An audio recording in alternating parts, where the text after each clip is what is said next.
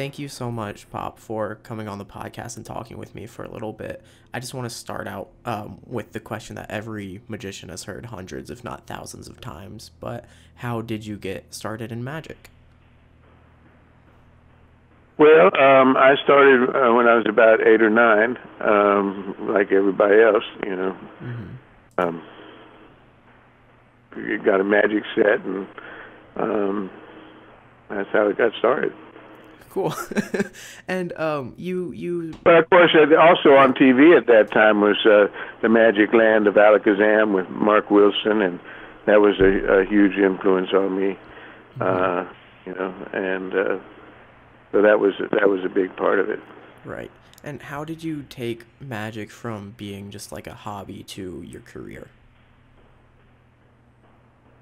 Well, um, I uh, dropped out of college uh, to fight the, the draft and applied for conscientious objector status. Mm-hmm. And then I went to New York and started working on uh, alternative service uh, at New York uh, Uni- University Hospital. But then uh, when they called me for a physical, I flunked that, and because of my eyesight, and so I got fired from my job. And I was living in New York without a job. Um, so I went out on the streets and started doing card tricks for uh, money, and uh, I actually made a lot more money than than I would have thought. how how did you decide like which which effects, which tricks to do on the street though? Well, uh, they're pretty. Uh, I I don't even remember what card tricks I did back at that time, but um, you know they there had to be stuff that moved fast and grabbed people. I was doing it not like um, most uh, street magicians. I I would gather a small crowd in front of a on a sidewalk in front of a, a store window, mm-hmm. and uh, I would do small magic for like ten, twenty people, and uh, then if the cops came, I could put the cards away and turn around, and I was just one of the crowd. That's awesome. Did you ever have any like bad or, or good encounters with the cops? Oh yeah, I talk about some of them in in my book uh, on street magic. The uh, um, one time I was uh, I was working the same spot all the time uh, near uh, uh, Sixth Avenue um, and uh, um, uh, Eighth Street, I think and uh, there was a jewelry store there, and the, it had windows, you know, on either side going in. And when it was closed at night, I could stand in there like a little stage, and it blocked off my angles. And I did things like the rope and the rings and uh, billiard balls and stuff like that. Mm-hmm. Um, one time, I, I had a little uh, Puerto Rican kid named Angel that would uh, be in the crowd and kind of keep on the lookout for the police. Um, and uh, if he saw me, he'd say something. I'd turn around and they'd come up to the window. There, there'd be nobody doing anything. There's just this crowd staring in the jewelry store window. that went on for a couple of weeks till one time Angel didn't. Uh, he went off to get an orange Julius without telling me, and I look up to have somebody pick a card, and there's a cop standing there. Oh wow! And he he you know, walked me off down the street um, to a coffee shop and t- took me inside. There's another cop in there, and he said, "I caught that guy." And and the guy says, "What guy?" He says, the, "You know, the guy that was uh, drawing a crowd down over on Eighth Street." He says, "Really? What was he doing?" He says, "Card tricks. Show him a trick, kid." so I did card tricks for the two of them, and they they gave me money. They tipped me, and they they told me not to come back in their precinct again, but that there was a another precinct just a, a, a ways away that I could go to a certain. They gave me a spot that was just like the one I had. They said you'll make money there. And when uh, when they bust you, just tell them that uh, Frank and Charlie from the uh, '66. oh, that's amazing. yeah. That's awesome. That was in 1969. Mm-hmm. And now you perform all over. You perform at the Magic Castle. You were vice president of the, of the Magic Castle for four years, and you've won all kinds of awards there. How did you kind of go from street to stage? Well, I started out. I uh, joined a theater company um, um, in in Tennessee. Um, they were a populist political theater, uh, touring uh, group, and I was doing uh, juggling and fire eating and magic to kind of open their shows and draw a crowd. Um, and uh, I was with them for couple of years, and I got an invitation to work at a, uh, Tombstone Junction, which is a uh, just doing magic. It was a, a gunfighter uh, uh, train uh, park, theme park, gunfight theme park, mm-hmm. and uh, so I was there for uh, a couple of years, uh, working just in the summers for five months, but they paid really well, mm-hmm. and. Uh, then uh, I met my wife there, and, and we moved back out to we moved out to California, and uh, to be near the Magic Castle, and um, that's when I started doing, you know, uh, restaurants, close-up magic, and nightclubs, comedy clubs, and that kind of stuff. Mm-hmm. And so that that was kind of your transition right there. Yeah, that would be a fairly much transition to yep. professional magic was from going, taking a job with the uh, theme park. Cool. And the theme park was Tombstone Junction. Tombstone Junction. That's where uh, Mac King and Lance Burton worked too. They, yes, I was. Really I was been lucky. I was their uh, first uh, magician, and they oh, were wow. just trying to decide between doing a canned magic act, uh, like uh, Mark Wilson put out with a mm-hmm. college kid in a costume, like a rabbit or something, and right. music and pushing illusions around on stage, uh, and and having a live performer, and he hadn't decided a real magician. So I came and uh, did some magic for him, and they tried it out. They loved it, and um, after I left, um, they hired um, a couple of other magicians, um, uh, and uh, then uh, after them, it was Lance and, and Mac. And uh, Lance and Mac had got the Lance was doing that wonderful Dove act, five mm-hmm. shows a day, mm-hmm. seven days a week for five months. Wow. And they they've been really lucky to get some some talented magicians there. Oh yes, yeah. They they they thought good magicians were a dime a dozen there in Kentucky. oh, I bet. oh, that's awesome. and would you say that I mean, just doing five shows a day for five months, that you you had already worked the streets? Would you say just doing as much magic as much as possible. Yeah, but performing it well, it's it's all flight time. Right. You know, the the more hours you have in front of a crowd, the easier it is.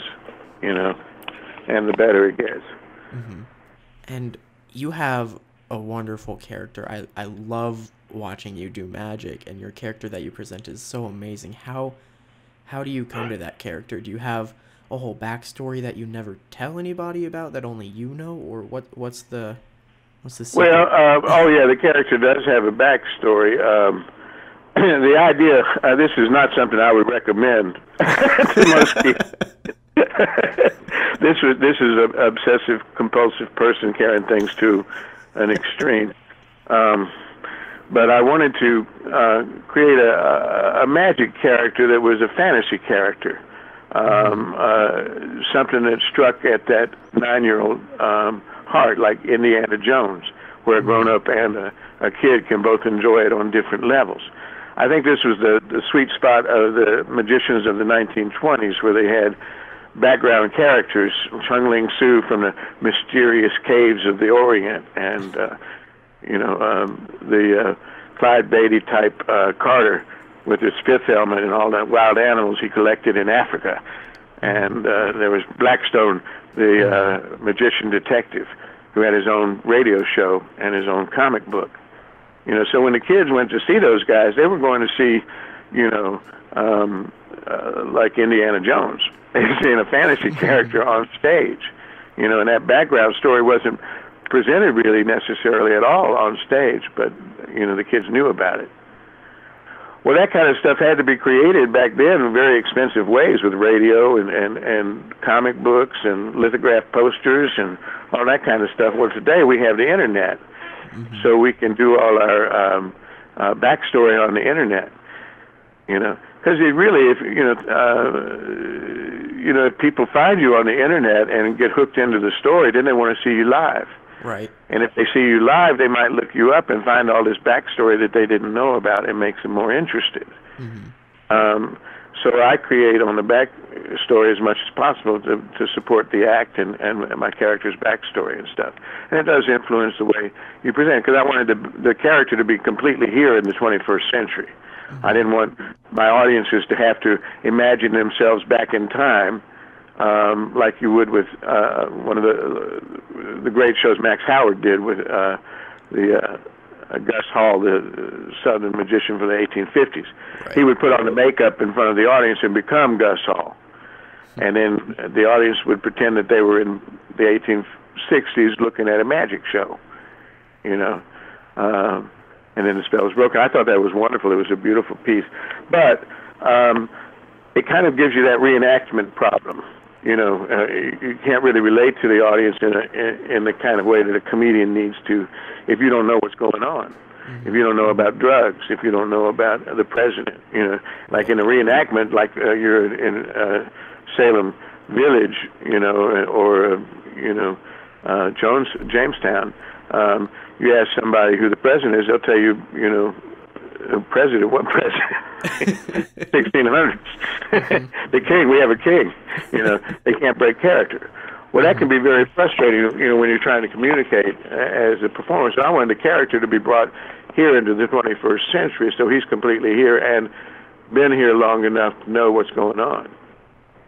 Um, so the, the story was this is a, a medicine show um, performer who had been a con man in the gold rush in the 1890s, and um, in 1910 he got blown into the 21st century by accident, not entirely his fault, um, with his whole medicine company and uh, uh, a whole little town of uh, 1910 Westerners who were brought into the 21st century with him.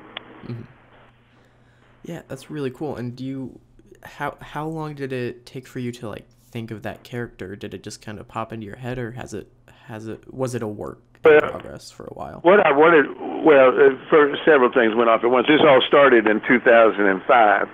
Um, until then, I didn't have a Southern accent when I was performing. I didn't have a uh, that kind of a character. It was a more of a, a, a substitute uh, teacher in a, with an unruly class, kind of straight white, you know, three-piece suit. You know, uh, I worked mostly corporate events and trade shows and cruise ships and that kind of stuff. Well, in 2005, um, I got hired to do a shell game. I'd been studying the shell game and the, the masters of the 19th century shell game uh, with the School for Scoundrels, which I, of course, I taught with Chef Anton at the Magic Castle for over 20 years. And um, so I had this background in understanding that, and somebody asked me to do a, a cowboy festival up in uh, uh, Santa Clarita, and so I put together a costume and a, put on a fake mustache, and uh, I just I just do the shell game to all comers, just like it was working on the street. You know, it'd be fun to get my practice up. Uh, well, I found out I couldn't do a Western accent to save my life. I couldn't figure out how to do it, so I tried doing my uh, an imitation of my Southern uh, grandfather from Virginia, um, and he had a very old-fashioned Virginia accent, very thick from the western part of the state. And as soon as I started using that, with a it was a deeper voice, and uh, it cut through the chatter real quick. People were walking across the street to come see who this was, making all this noise. so I decided this is pretty powerful. I you know might should consider doing this. hmm So uh, after that, did you was it kind of immediate that you started doing this, or was it? No, well, pretty much immediate. I started doing the character, but I was mainly planning to do it just you know to put on the character and then um, you know quit and be myself again. You know, just just do it for for performance. Um, and that was fine for a little while, but uh, for stage especially, it worked really good. But then when I started doing close up um, in that character, um, it became um, clear that people didn't like to see the character broken. It's like taking the head off Charlie McCarthy. they don't believe I'm really from 1910, but they do think I really am a, this crazy old Southern man. you know, and they don't want that illusion broken. Right. So I ended up feeling like I had to stay in character 24/7, like Chung Ling Soo. Mm-hmm. Except that he gets to take a break when he's not in costume. Nobody knew knew who he was. Yeah. But Pop is pretty um, spottable. So I ended up take, taking on way more than I had intended to, but it's been a huge fun thing. Uh, my idea was really that I wanted people to uh, meet a comic book character, a, a fantastic character like Pop, you know, um, like Doctor Who, um, who um, was a, unique one of a kind experience, and to be able to engage him and to play with him, um, you know, and you know, it, like it, wouldn't it, wouldn't it be fun if you could talk to a Shakespearean character, um, you know, for 20 minutes, or have a beer with Falstaff, you know. that would be, that's kind of what I thought would be the fun of this. So here you have a full-blown character from a Wild West movie that's like here and now in front of you, and he's picking on you and fighting with you. You you're handling yourself pretty well. You feel like that was fun. Well, that's kind of the situation I wanted to um, create, where the magic really is just part of the proof that that the guy was who he said he was. The more things you look at Pop, the deeper you look at it, the more intricate it becomes, and the more believable it becomes. He's got um, tattoos that are from the 1870s. You know, he's um, he uh, has the auth- authentic uh, voice and presentations and stuff. He's a very believable uh, character, and that's what I want is to make people uh, believe in the character and, and feel like they had an experience with him and think it's it's all of course it's just an actor playing the part. But then on the other hand, um, how did that coin get in the bottle? right. If he how did that how did that sonic screwdriver actually do those things? Yeah. and How could the TARDIS how could the TARDIS actually be bigger on the inside than it is on the outside? Maybe this guy is who he said he was. maybe he's not lying. Well, that's to me it's what entangles the fantasy with the experience, the, the real experience of the person, and that's what I want to do is is entangle the uh, experience of the impossible with my own uh, fantasy instead of letting them make up their fantasies. You know, so I I create a fantasy story which they walk in on, and uh, you know they they they go out of it with a feeling that they've seen something remarkable. You know.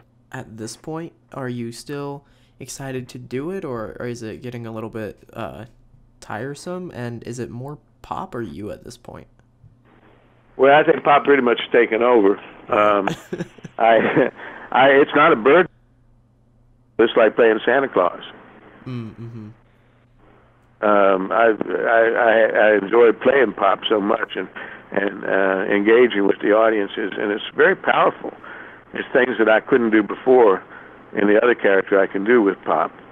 Um, I found very quickly after, you know, I grew up in the South, and uh, when I was in high school, I used to spend time at the uh, stables where they raised, where they had the uh, harness racing uh, horses, you know, and so uh, and uh, these these were little ponies, and they had a stable right downtown, right not far from my school. So uh, I used to go there and uh, hang out, and I would clean the tack and um, you know sweep the floors and stuff, uh, just so I can hang out and listen to these old men tell stories. And there was a bunch of old men, four or five guys, black and white, who would sit around uh, a, a little stove and uh, spit into cups and tell these stories. And they were big-eyed storytellers when they start telling. Oh no, that ain't nothing. They had to get real big. I'll tell you what it really happened. You know. And uh, as soon as I started doing pop, um, those kind of expressions and stuff started bubbling up out of the character. It's kind of like, you know, absorbed uh, those old men that I knew into the character, and it's made it a very um, believable um, and interesting character, and it's a lot of fun to do. I uh, I played. Uh, I, I, play, I it's hard to go in and out of the accent, so I pretty much am stuck with the accent 24/7. My wife, I didn't have a southern accent when I married my my wife, so she's had to adjust to that. But I grew up with a southern accent. You know, I, I grew up in Tennessee and North Carolina and Uh, so it's like a warm bath to me, mm-hmm. you know, to be able to talk any which way. That's awesome. And and um, do you have any advice for somebody who wants to portray a character, not necessarily a character like yours, but just any character? Well, I think everybody is always they're always playing a character. Right. Um, you know, as soon as you pretend to do magic, whether you, whether you pretend to uh, just do sleight of hand, you know, um, which I think lacks charm. Um, basically, when you're showing off sleight of hand, you're saying, "Look how how clever I am! I can fool you." you know, it's just sleight of hand. It's not really magic. You know, I'm just smarter than you, and I can beat you. See, that's not a very win-win situation.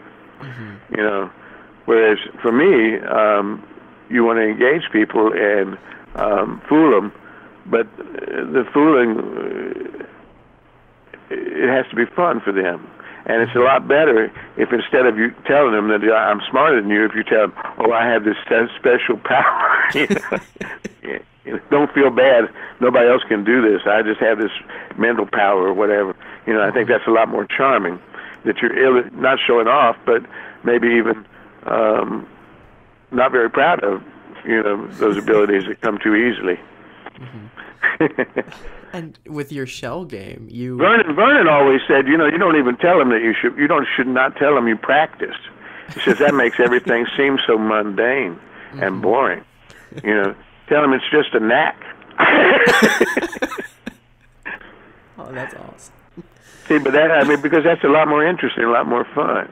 Yeah. You know, then tell them, oh yeah, you could do this if you spent, you know, ten hours a day for ten years working on it. You know. Well, that sounds awfully dreary. Yeah. I, I think magic should be geared toward the twelve-year-old uh, kid. You know, uh, if you uh, like, Pop is really kind of a Professor Marvel uh, from Wizard of Oz. You know, he um, got blown into the 21st century by accident and has to find his way around and find a way to make a living and survive and stuff. Uh, and he's a medicine show pitchman, and these people will pay four dollars for a bottle of water. Mm-hmm. So he's ready to run for president. it's like you know, um, taking over the Munchkins. Mm-hmm. You know, so uh, he's doing a uh, magic shows to make a living, and uh, you know, this lady, he, he joined the Magic Castle, and you know, he's been here since 2005, and he knows everything's going on. He's all over the internet, and uh, you know, he's trying to get money together so he can get his whole medicine show back together. And mm. this lady uh, hired me to do magic for her guests at this party. You're one of her guests. Take a fucking card. that's that's the way I enter. So I think most magicians, what they forget is that the story of magic that they're telling, all the audience will get is from the moment they meet the magician to the moment he leaves. Mm-hmm. And you don't have time. If you were really from the 19th century, you wouldn't tell people that. They'd arrest you. They'd think you were crazy. Plus, you don't have any. You don't have any documentation. Why are you here? How, who are you? Mm-hmm. you know, I have a, a birth certificate from 1849. What good is that going to do? you know, you're an illegal alien in your own country. yeah. And so you have to be very careful about not breaking the laws and not calling attention from the authorities. So you wouldn't say anything about who you were, where you're from. You just do your show. You try and make Definitely. the money. So that's that's where the thing is. So the backstory is is not hidden, but it's it's nothing I would discuss at the show. The show mm-hmm. is only this moment you get to see him. It's like the magic show is like if you were to see just the um, play uh, The Murder of Gonzago, and it was right out of the Hamlet. Mm-hmm. But all you got to see was the the play that Hamlet produced in order to get the conscience of the king. Mm-hmm. Whereas the actors on that stage, when they're playing this Murder of Gonzago, they will be pretending that there's a important person at the back of the house, and they'll go into it just like they would in the thing. And you get this feeling there's a lot more going on here than than it seems on the surface. Right. You may not know what it is. You may not know that whole backstory about Hamlet, but you can feel that it was there. You know. Well, the magic show is is the point at which the magical character is here now doing magic for this group. and you have to bring the character up to the moment he walks on stage. Who was he before? What did he have a past? Was he do, what was he doing before he came here, and why is he here? What is he trying to show us? What is he trying to do? All that kind of stuff is what the character has to figure out before he greets the audience. Mm-hmm. And you mentioned that you you don't tell the audience everything, but you do interact a lot with the audience. Um, oh yes. Even, even people who don't like come up to participate in a trick, you'll ask them questions and just hold eye contact with them, which I love. right. How, how do you select the volunteers? Like, do you do you come out there and you think this person will make a good volunteer and you'll use them later, or is it kind of just in the moment? It's just in the moment. I, you know, basically, I, I, I like to work. It doesn't matter who I work with, really. Mm-hmm. There's some people that are extraordinarily good, but I try and make everybody look good. Mm-hmm. You know, um, and I want them to feel more than anything else that, that, that, that Pop thinks they're clever. Pop thinks they're fun to play with, and uh, the the play face, I think, is very important in Pop because of his fluidity and his facial um, antics and his eye movements and stuff. He's he's perfect for a play face, which is like a, a dog wants another dog to play with him. He gets down low and he makes a stupid look face. You know? we'll play, we'll play. Let's play. You know. Yeah. Well, Pop kind of does that to his audience. You know, it's like, you know, when you put on a really weird kind of face and you stare somebody straight in the eye, kind of like force him to interact with this weirdo, in this character. It's like the magician is the lead improv actor, and the audience are the other improv actors, and you, you're kind of orchestrating them and leading them into how to perform, how to play with you and then it's like as much emotion as you can. I'm, I'm always, you know, uh, sometimes people say there should be emotion in magic, but then they mean I'll tell them a story about somebody once in history who had an emotion. and I go, well, no, what I meant, you know, by emotion is the magician's emotion. The magician is interesting when he's going through things, when he's in trouble, treading water, um, triumphant, um, uh, cagey um, mm-hmm. all the things he he experienced with the audience. The audience sees that. That's that's the play. That's what's happening. You know. Uh, can you count like up to ten? Suddenly the kid would go, well, yeah, yeah, I can to ten. Are you kidding? okay, good, because I work a lot of uh, saloons and stuff where people have a hard time. Let's count. I want you to count eight, you know. And so you get into a fight with, you know, no, that was seven, you know. More you can, if the lady squares, put say lift up a half the deck, I'll put a card here, put your top, put the second half back on top of it, um, and then they square it up. I go, I didn't say square them up. You're about the meanest woman I think I have ever met. See, but that that constant pushing back and forth and playing with people and screwing with them, I think mm-hmm. basically the uh, the magician is a celebration of the trickster, of the guy, of the man or woman who lives by his wits instead of by brawn, and that's why it's so related to all the con men and charlatans and tricksters, uh, because that's the heart of him. The only thing is the magician is a, an innocent trickster. He's a version of the trickster character that's um, just play it. It's not trying to take your wallet or get your allegiance. he's just he's just fucking with you. you know? like a grandfather playing with the kids. Mm-hmm. And Pop is very much a grandfather figure. I think that was very liberating to me um, when I first started doing it. Was that he's obviously um, an older man and and not interested in, in hitting on the girls, you know, uh, not you know he's he, he, he he's not got anything to prove. He's not trying to take any money. He's like a sated lion, making money so easy here in the 21st century. He doesn't have to, you know, con people. He can just entertain them. You know. Um, and so he's like a, a sated lion. He doesn't really need anything.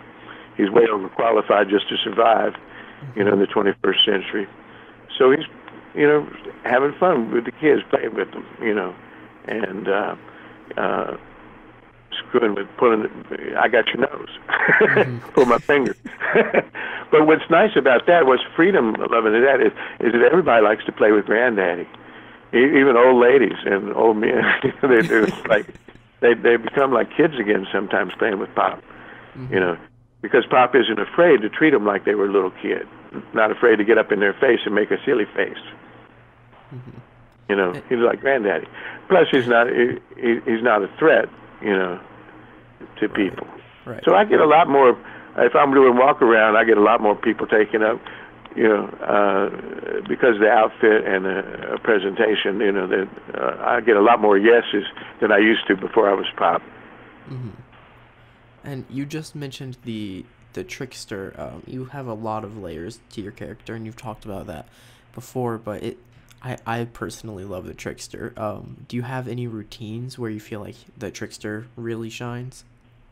Well, the shell game, of course, is the ultimate, you know, trickster. You know, mm-hmm. um, because usually the trickster hides him. He he hides his cleverness behind magic. You know, oh, it's a, tel- a teleportation device. you know, uh, he, he he has a story that explains it. You know, mm-hmm. with a magical story. Well, the the magic. You see, the two character audiences. If you're not a charlatan, um, and you're there just for entertainment, the audience will recognize who you are. You're you're a magician that's a character all, all in itself that they've heard about since they were little kids. They they met magicians at you know birthday parties when they were kids. They saw magicians on TV. They've read about magicians in the fantasy books. They have all kinds of ideas of who this magic character is. He's a trickster. What he does isn't real, but it sure looks real, and nobody knows how he does it. That's what a that's what a magician's character is in our society, and so he can be played with.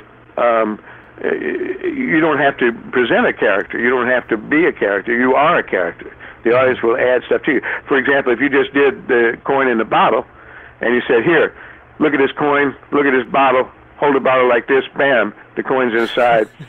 Examine it. Bam, it's outside." You don't have to build a character. You don't have to tell them a lie about magic. Um, they will fill all that in mm-hmm. when they think about it. They go, "Oh my God, what happened? How did how could that possibly solid through solid? Well, remember Superman, he could vibrate at a certain speed and pass through walls. You know, they start thinking about all the all the fantasy things that, that might appeal uh, apply. Mm-hmm. And who is this guy? Why is he doing this? They have to make that up, and they they you know they'll create a, a magician character. Well, so that's that's why you don't really need to play a character. The audience, when you start doing magic, they know what the bit is. You know, there's a guy who's going to show us something impossible, and it's not really something impossible. It just looks like that. You know, so you ask the guy about the bottle. Uh, you know, he said, "Well, I saw a magician. What, what did he do? He put a coin in a bottle." Bullshit. Oh no, it's true. I actually saw him do it. Well, it must have been a trick bottle. No, I drank beer out of that bottle. It was my bottle. I gave it to him. Well, it was a trick coin then. Well, I examined the coin. It was just a normal half dollar. Mm-hmm. Well, maybe he switched coins.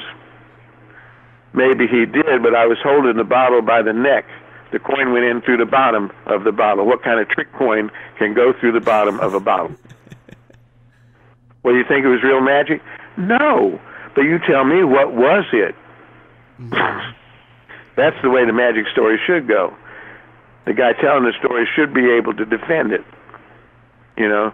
Now uh, he, he should be able, if somebody questions him, like I mean, if you saw a strong man at the circus and and he'd been a, a steel bar around his neck, you know, and you went and told somebody about it, and they said, well, was it a real steel bar? Or could it have been lead or something?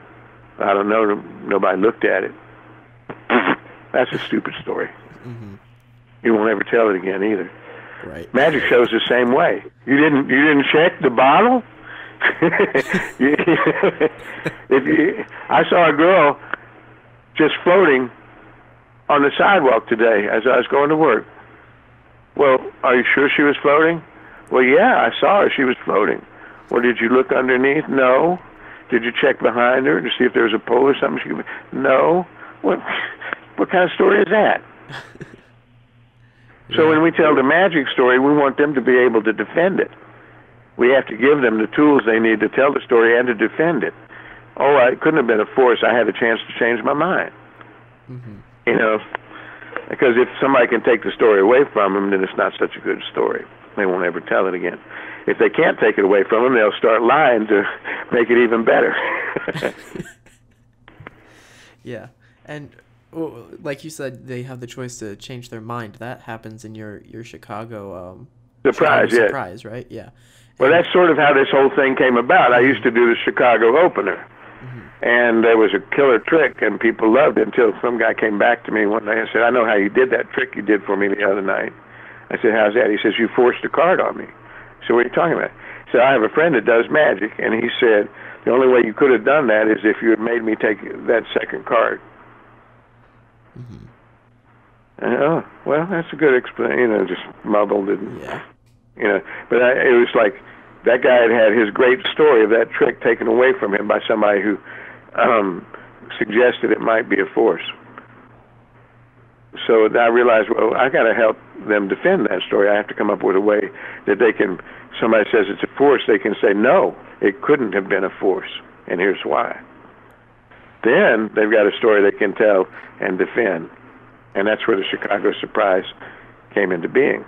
But it's the whole attitude to me is where I discovered that really the, the magic story is not a story we tell to them, but it's a story we enact that um, they're a participant in and that they tell later.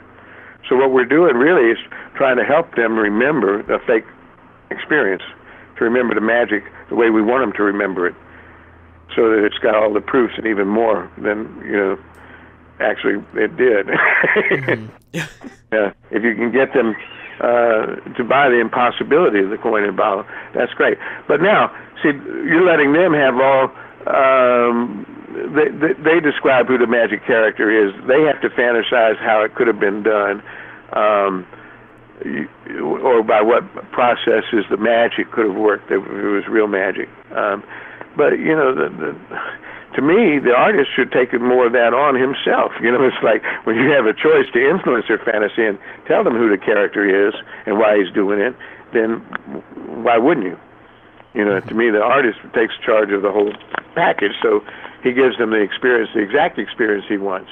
He doesn't let them make up what it could have been, you know, that he's from another planet. No, he he tells them, you know, he's from the past or whatever he is. And Does that make sense? I, no, it I, yeah, no, it completely makes sense. I, I, the reason for the character then is because I wanted to take charge of the fantasy. I wanted to give them an experience as, as concrete as if they had met Doctor Who, and he had tried to prove to them who he was. You know. Right. And just um I'm, I just want to take a minute here and just compliment you real quick. I love your Chicago surprise. I love um your linking rings, your shell game. I've I've watched your penguin lecture countless times. And you mentioned earlier it was you you want magic that like 12 year olds and adults can enjoy. I found you when I was about 11 and you've been one of my favorite magicians since and you're also the only magician that my mom likes.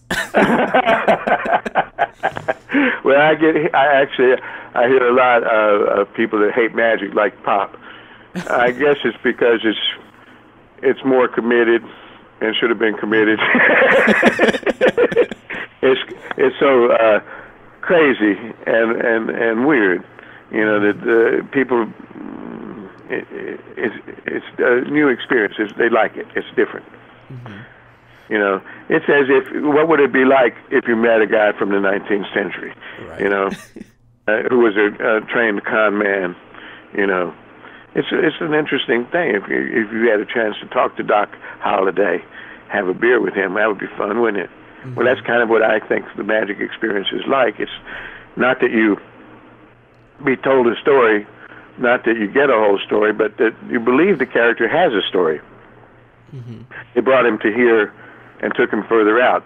It's as if on a stage, when you roll a bowling ball off the stage and then the sound effects take up and you hear it keep on rolling farther and farther until it rolls down the steps and hits the car and the car alarm goes off. Well, in your imagination, you've extended that stage mm-hmm. way out into the parking lot. Mm-hmm. You know, it's not real, and you know it's not real, but it's made a bigger memory picture in your head, you know. And in the same way, we extend our character into the past and future, make people feel like they're they're part of a continuing story, and prick their interest rather than. Uh, it's it's not so much that they they need to know what the story is; they need to feel like there is one. Right. Every magic show to me is kind of like the Twilight Zone. Ladies and gentlemen, your next performer will be so and so, the magician and the magician walks out and he takes out a deck of cards and offers the lady at the table uh, to pick a card. And that's when Rod Serling steps out. And little did they know that what they thought was a typical experience of a magic show would be, you know, that's the way every magic show kind of should be written. Who is this guy why is he different? Why is he not like every other magician you've seen? You know, um, well, because he has a story and there's something about it that's interesting, and he seems like he's not just some kid. I think when magicians do stories about magic, I think they often make the mistake of doing a story about the little kid that became a magician. Their own story, the story of the real person. Nobody gives a shit about that person. they want to hear how uh, how Wog became Merlin. Mm-hmm. they want to hear the backstory of your magical character. Yeah. And that's what Vernon was saying. Don't tell him it takes a lot of work. It's a knack. you know, you want them to go, wow, well, what kind of knack could that be? You know, mm-hmm. the idea that we take, you know, years and years and years of preparation just to fool them with this one trick, people can't really absorb that. It's the truth. Yeah. you know, they don't believe anybody would put that much time and work into just fooling them on a silly little magic trick. Mm-hmm. So, so I guess Vernon, that was the real secret we want to hide. Yeah. There's no work at all. It's just a knack. mm-hmm. The magic it has to have a lie at its heart to oh, be definitely, charming. Definitely, and in a way, it kind of is a knack because only only an insane person would spend so much time dedicating hours of practice into something that, if done right, shouldn't be seen. Well, it's a peculiar little mix of obsessive compulsiveness and attention deficit disorder and narcissism, you know, and autism. There's a certain spectrum of that that, that makes you a magician. Mm-hmm. Slightly mix this mixes slightly off, you probably end up um, a computer programmer. yeah, and you have some of just the best routines. Um, like your linking ring routine is one of the only ones that I'm like, oh, that's a unique linking ring routine. How how do you create your routines? Like uh, theft. well, no, really, it was. Um, the two routines that I learned when I was a kid was Vernon's uh, six ring routine and the Jack Miller five ring routine. And uh, when I started working the street, um, I, and I was doing the rings. People would want to see the rings right after the show. Mm-hmm. So I thought, well, I'll just drop the key ring in the case or something when I'm putting them away and hand them to them and let them examine the rest of them. And I, that didn't work because people always go, well, is there any more of these? They, they didn't know how many rings you had. Mm-hmm. When you're doing six rings, it's, to them, it's just a bunch of rings. Uh, so I thought, well, I'll just do four ring routine. That way, um, I can drop the key ring and pick up another single and I'd have a chain of two and two single rings I could use, and do uh, the Weber emergency routine with that. And so when I started doing that, at first I just used a, a section from the Jack Miller routine with those four, with, uh, with the, the key ring and the single and the chain of two, and I kind of developed that routine along that lines just so people could examine the rings at the end. I could put them away and switch the key ring into action, leave them halfway out of the bag. And since people knew there were four, I could pick them all up and show them. Mm-hmm. And at one point, some guy in the audience, I was, I had his back turned to him, and my rings came apart, and I put them back together and turned around, and he held his up like he had done the same thing. The audience just went into hysterics, and I just thought, well, that's that's the thing I need to work on. I have to find a way to make them do that every time. Mm-hmm. And so that's how the routine developed. So basically, and I, I combined some of the moves from Vernon's routine with uh, the moves from uh, uh, Jack Miller's routine. I added maybe a couple of moves of my own, but that was it, and most of it was all stolen from the uh, other magicians and from the audience. but the thing is, if you steal enough from different people and stuff, it's like putting a new coat of paint on it. And the owner won't even recognize it. The art, artistic way of stealing is to cover your sources. You know, put a new coat of paint on the stolen car. if the art, if the owner doesn't recognize you have stolen from him, then you've done it right. Mm-hmm. But it, it all also goes with your story. Like you do um, you do the silk to egg, but you do it in a way that perfectly fits you. Right. So yeah, I I think that's awesome. Well, thank you. But it's also that those routines would fit anybody with mostly the same words. Mm-hmm. It's like Hamlet. You know, magicians forget that you know a good routine is hard to come by. Right. And Vernon said a lot of uh, the only uh, art in the world is magic that would allow a beginner to paint over a masterpiece. mm-hmm. But that's what we do, and we encourage it. We encourage people to be original before they've even learned the art. We have contests for 14-year-olds that big chunk is based on originality. And I think that at that age they should be learning magic, learning the routines and doing the copying they need to do to uh, understand the way magic's supposed to work and how the uh, cover works. I've I've stolen so much from every magician I've ever seen, you know. Um, but it's it's things like the important things. Like I, I told Johnny Thompson once, I stole from him. He, he got all pissy first. He said, "What? What?" And I said, "Well, you know, sometimes you uh, somebody says something in the audience and you crack up and lose your character. He goes, yeah. And I said, why do you do that? He said, well, because people aren't real comfortable laughing at Tomsoni until they know it's just an act. If they think he might really be this old man, uh, uh, annoying old man, you know, uh, arrogant old man that feels sorry for him and, and not laugh at him. So when, as soon as you break character, they go, "Oh, it's okay to laugh. He's okay. He's, he's the guy behind there." And I said I did the same thing with my Whit Haydn character. I would, you know, be a substitute teacher, you know, having a hard time, and somebody say something, I laugh and and lose the character for a second, and that let them know that the character wasn't real. That I was just playing. Mm-hmm. So that's something I stole from Johnny. He said, "Well, that was a good thing to steal." oh, I love that.